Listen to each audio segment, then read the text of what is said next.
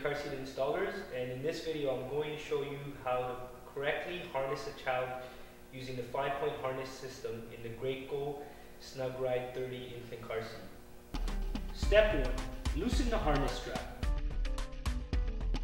Unbuckle the chest clip and crotch buckle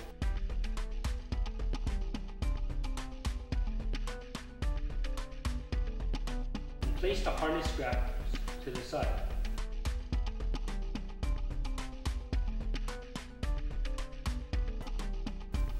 Step 2. Place the child into the seat with their bum all the way into the back.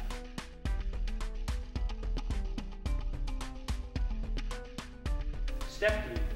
Buckle the crotch buckle.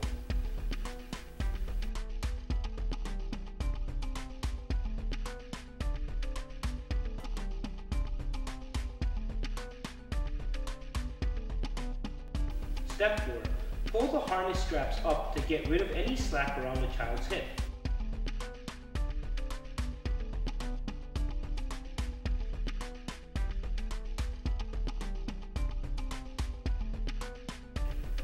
Then buckle the chest clip and slide it down.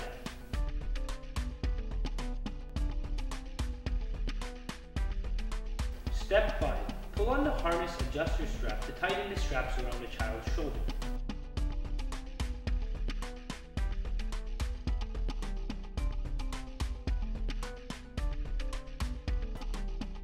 Put your finger into the child's armpit and line the chest clip with your finger.